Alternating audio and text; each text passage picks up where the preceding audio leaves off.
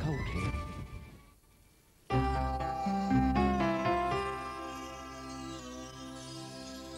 A festive favourite on BBC One now, the Oscar winning screen version of the Lionel Bart hit musical Oliver.